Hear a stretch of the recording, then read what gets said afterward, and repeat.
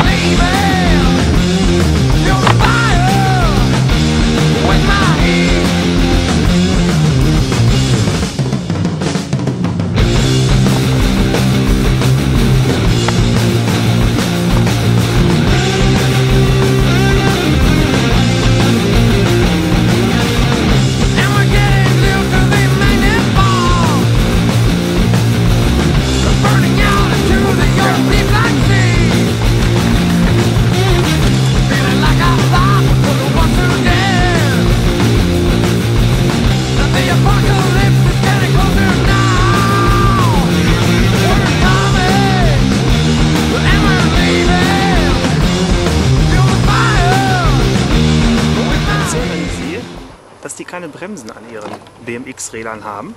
Also da haben wir noch früher drauf geachtet.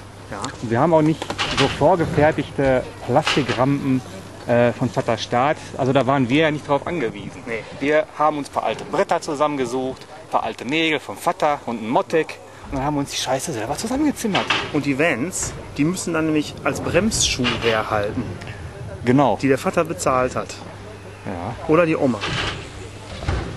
Nee, nee, nee. Also mit dem Jugend heute, was die da machen, da kommen wir ja gar nicht mit klar. Neue das? Marken, gestern auf die Welt gekommen, morgen schon Kult. Ja. Wo soll das noch hinführen? Ja. Alle ohne Und die. GT-Leute, die entwickeln nichts mehr, die kiffen nur noch. Genau, und ohne Helm überhaupt. Genau wie wir früher. Nee, nee, nee. Ja. Wir sehen hier zwei alte Männer, die aus blankem Neid und purer Gehässigkeit über die Jugend von heute herziehen. Haben wir das nötig? ja. Ich denke ja.